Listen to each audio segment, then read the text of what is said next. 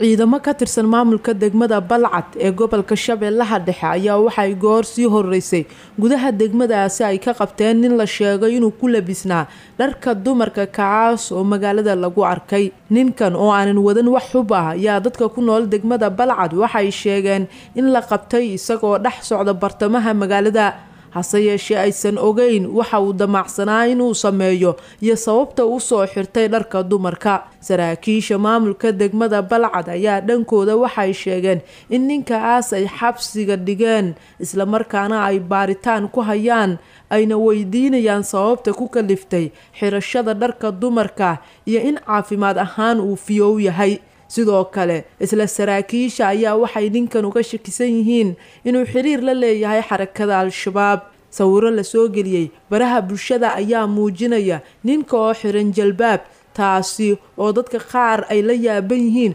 waxyaabaha ku kaliftay inuu qaarka sare ee jirkiisa ka soo xirtay jalbaab halka hoosna uu ka wato surwaal jiinis ah balse dadka ayaa ka warsugaya halka uu ku dambeyn doono baaritaanka ciidanka ay ku hayaan degmada balcad ee gobolka shabeellaha dhexe tuulooyin hoostaga waxaa ku sugan xubno ka tirsan xarakada al-shabaab kuwaas oo mararka qaar degmada ku qaada weeraro geysta khasaare isugu jiro dhimasho iyo dhaawac kuwaas oo qaarkood ay mas'uuliyaddooda dib u sheegtaan xarakada al-shabaab